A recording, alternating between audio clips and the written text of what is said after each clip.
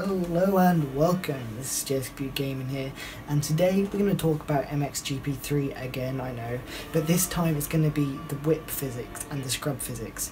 Now, there's been a lot of videos released of actual gameplay of this, of MXGP3, and they these are from the conventions and stuff, and the motorbike shows and all that kind of stuff, but in every single one, I'm looking for a whip or a scrub, but there isn't any.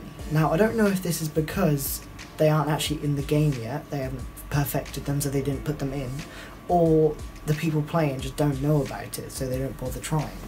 Um, I'm betting it's on the first one because surely if these people are playing this game they'd know to do whips and scrubs, at least to show the viewers and stuff like that. But the most I've seen is where you kind of like instead of pulling both sticks apart, you pull one and the bike kind of like pivots outwards.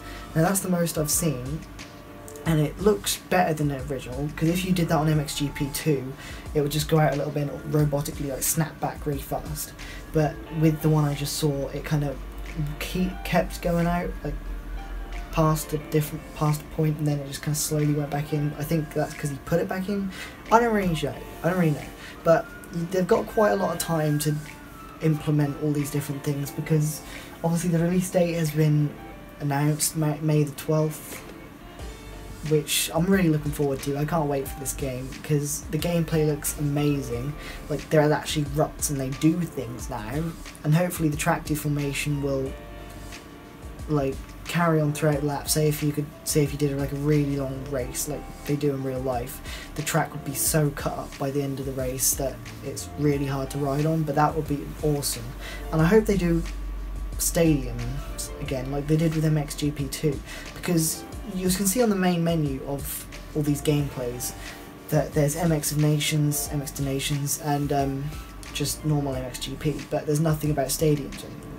I don't know if they haven't released it yet, like that. I haven't announced it yet. Well, I know they haven't announced it, but I don't know. I'm hoping they'll have more features than normal, like maybe historic races, the EMX class, which is two strokes, and I don't know. I just hope they add more. and I'll be what would be really cool is having a team bike on your customized character, like being able to use a factory bike. That would just be awesome. But yeah. Anyway, nothing me rambling on.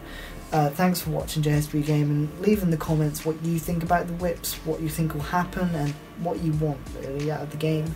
So yeah, make sure to subscribe, like, and comment, and I'll see you in the next video. Goodbye.